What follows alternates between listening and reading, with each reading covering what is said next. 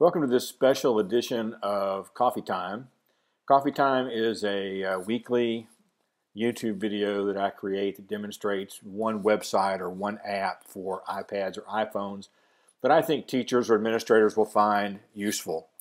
Uh, it's built around the premise that we record something like this video for about 10 minutes uh, to demonstrate how the site works and give some ideas about how that could be utilized in the classroom.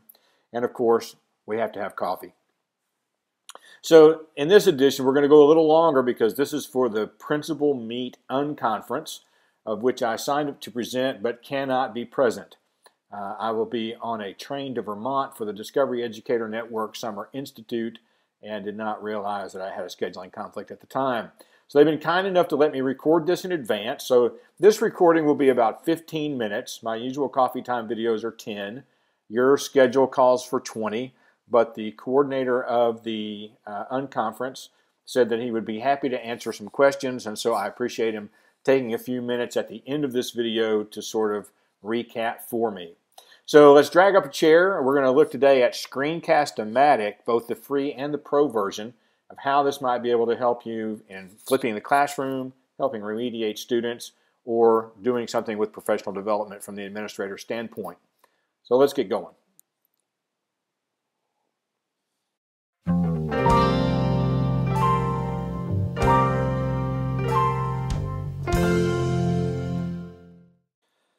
And of course, in order for me to do anything with um, my laptop, I have to have my glasses on. So my apologies if there's a glare over my glasses while I record. This is the Screencast-O-Matic website, and it is both a free and a paid site. Uh, the subscription rate is $15 a year. You can get three years for $30. So depending on how much you think you want to use it, you might be able to save a little money doing it that way. I'm going to start off not logged in so that you can see what the free account looks like. There are a couple of things to be aware of. In the free account, you're limited to a 15 minute video, which is really pretty much all you'll ever need uh, for the most part. There also is a watermark that will be on the video to say that it was recorded at Screencast-O-Matic. If you want to get rid of that, you'll need to go to the Pro version. There are no editing tools. So what you record is what you get. Now, what I found is I would use Screencast-O-Matic um, when I would have questions come up. Teachers had uh, a quick question about technology, and I needed to demonstrate maybe how to insert a picture into Word or how to how to work a particular app on the iPad. Where I'm going to record a video of just three or four minutes. Quality is not an issue. Editing is not an issue. I can stumble around if I need to. It's a one-on-one kind of thing. So there are no editing tools in the free version. Um, so we'll look around here for just a minute. I want to show you kind of what it does. Then we'll talk about this site for a little bit more, and then I'll show you what you could get if you went to the pro version. Now, on this site, there's a button over here on the top right-hand corner that says Start Recording. And when you start recording, um, if you're on the site for the first time for that day, or if you've just opened the browser up after it's been closed for a while, it's going to ask to install an applet on your computer. You can, you can do that or you can download and install the program permanently. I usually just use the, uh, the permission to download it now and use it one time.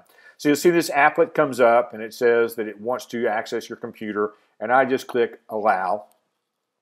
And then it's going to come up with a box and this box you can move around the screen. Whoop, that is the screen. You can move the box around the screen just by grabbing a hold of one of the corners. Let me put this back where it was. You can drag a corner to make it bigger, any size that you want. You can drag the middle to make it taller, um, the edges to make it wider. And you'll see at the bottom of that uh, screen is uh, a set of tools that you're able to uh, control with. The red dot is where you start to record. Um, there is, you'll see as I'm talking now, you'll see a little green bar sort of moving where the microphone is. And so this will uh, allow me to choose a microphone. I can also adjust the sound and I usually just go to auto adjust volume and then as I get bigger it sort of keeps everything in a certain spot and doesn't let it get really loud or really soft.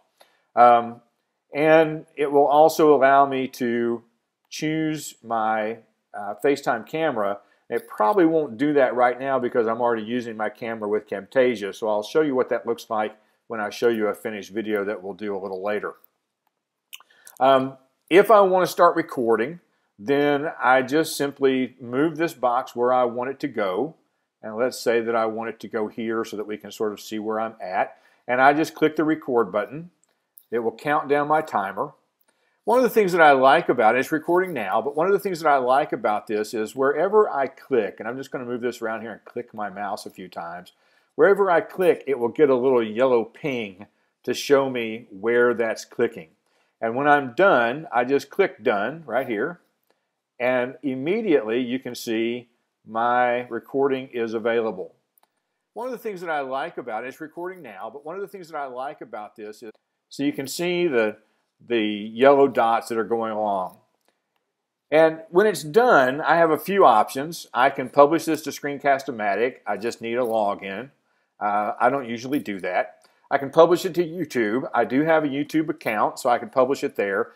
More than likely, I'm going to download this video file to my hard drive where I can upload it where I want it. I might put it in Edmodo. I might have my own uh, server, my own folder on the server of the school where, where teachers could access that. Uh, if it's small enough, I might want to just throw it up into a Dropbox account, email it. Um, there's a number of things I could do with it if I download the video.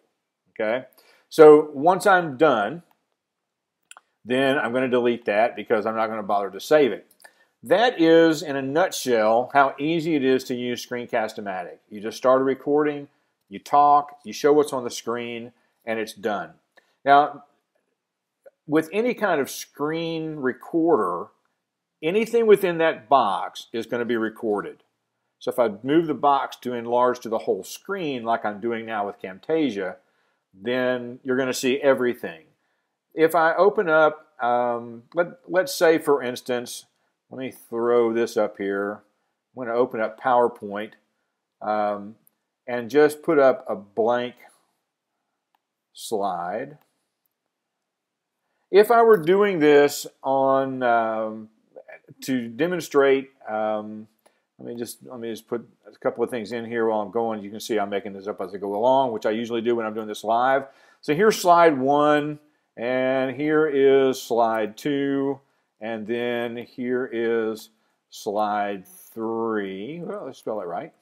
And if I were if I were doing this live, I would I would throw that PowerPoint out there full screen. But if I want to record it, I can come over here to Screencast-O-Matic.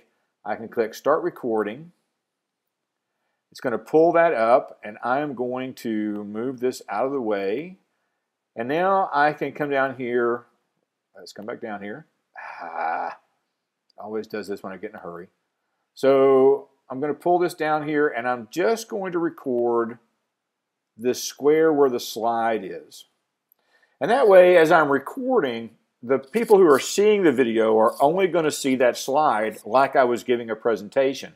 They're not going to see any of the menu items at the top. They're not going to see any of the things along the side. And if I started to record, which I will do again, and so it's coming up now to record.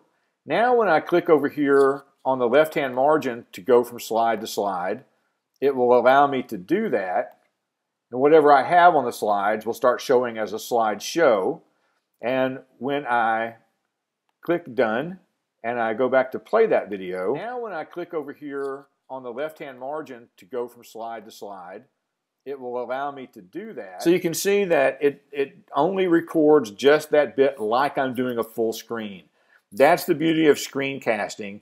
You can make it full screen in the video without having to make it full screen on your computer. So if you're doing this, if you want to record a PowerPoint presentation uh, to video, if you want to record um, a smart notebook file or a Promethean uh, ActivInspire flip chart file, you don't have to go full screen.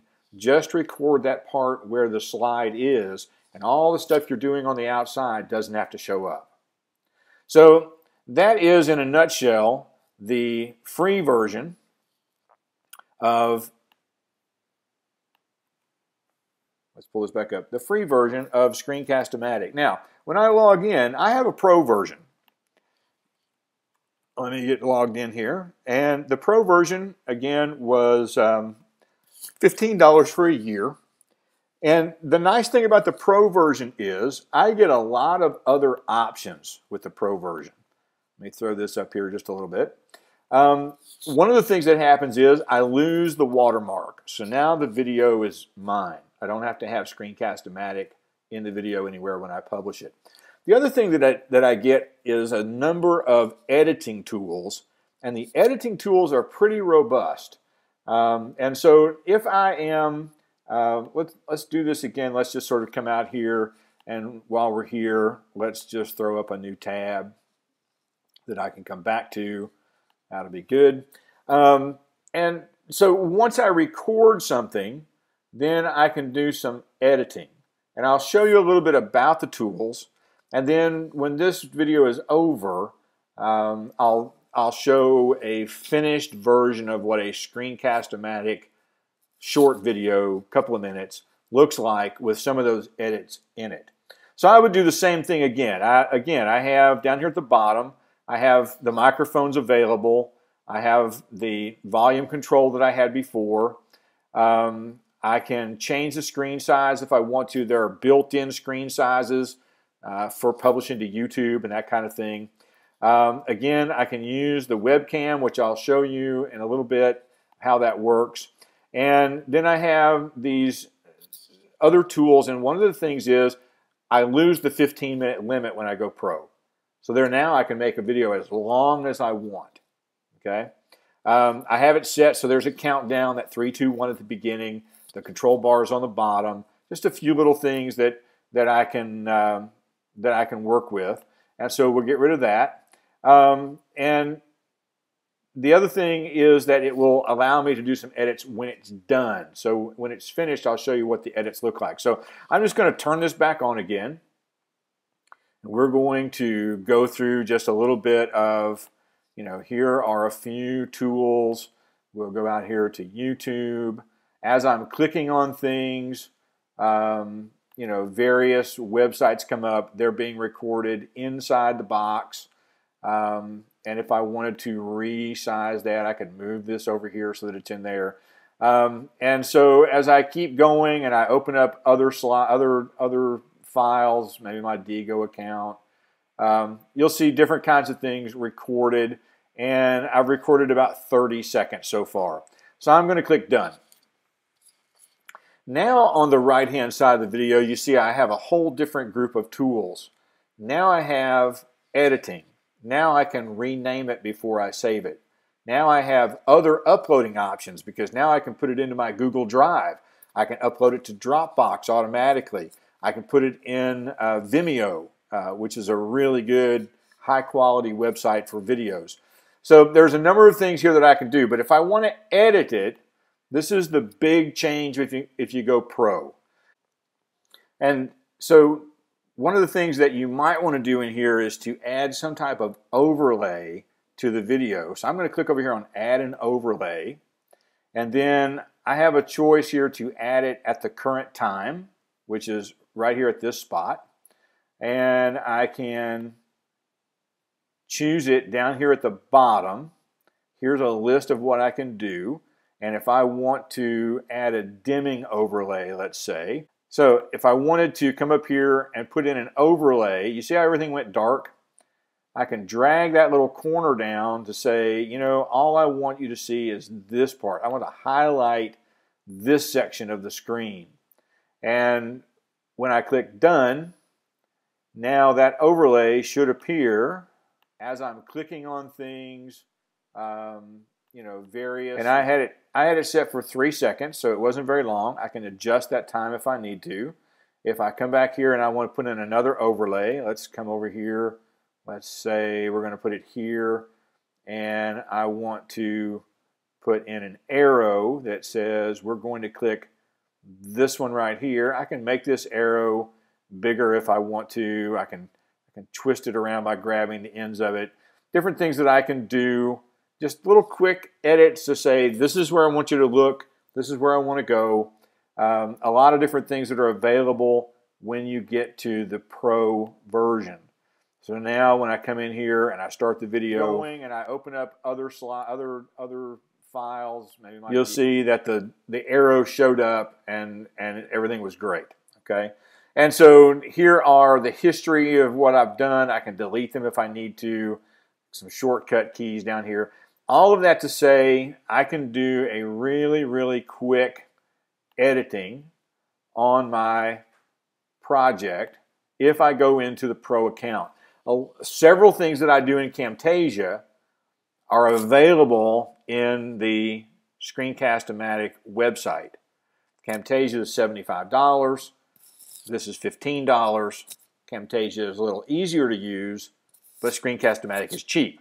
So um, this is one of those areas of, of really easy, down and dirty kind of make a screencast, throw it out there for the world. So if you're interested, you have teachers that are interested in flipping their classroom, Screencast-O-Matic is an option.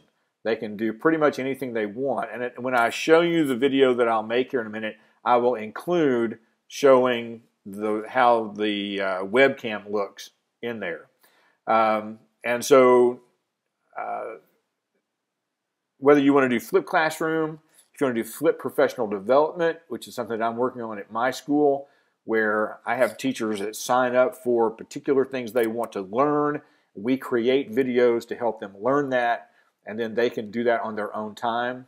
If you want to if you want to flip faculty meetings so that you send out information that you want your teachers to know before they come to the meeting, so when they come there, they're ready to collaborate, not just to put information out, you know, to give announcements, but to actually give them the information they need so when they come together, they can do the work you've called them to do.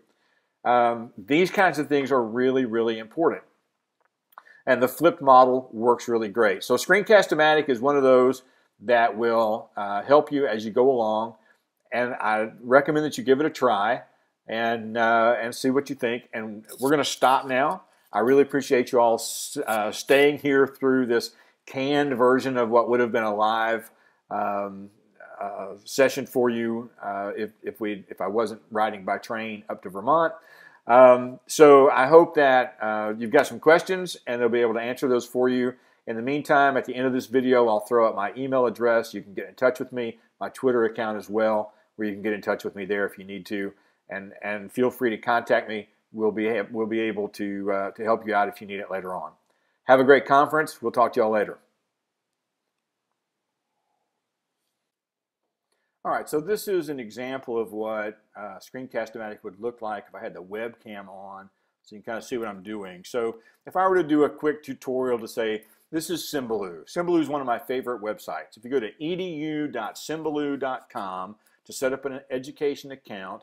It's a free website and it allows me to put these tiles out here of websites that I would use uh, quite frequently. So this is my home page that I have on every computer that I use. Um, and it has my social media sites at the top and some other things up there. It has some of my own personal stuff at the bottom, my bank account, credit cards, all those things that I can check whenever I need to. And so I have direct links to all these sites. The nice thing about Symbaloo is that I can set this up for a classroom. So for instance, um, if I wanted to do something about high school math, here is a Symbaloo page that was set up with links to all different kinds of math sites for high school. I could set this up in a computer lab as the home page in my classroom, whether I have two or three computers in the back of the room, or if I have a computer lab of 30 computers or laptops, this could be my home page when students log in. They have access to every single website they will need all year long because it's set right here. They don't have to go searching anything. I don't have to give them anything. And so this is sort of what Symbaloo looks like. Now, I would go a lot further than that, but that's an example of what this video would look like uh, with the some of the edits that you'll see that I put in along the way in the Pro version. Hope you'll try Screencast-O-Matic.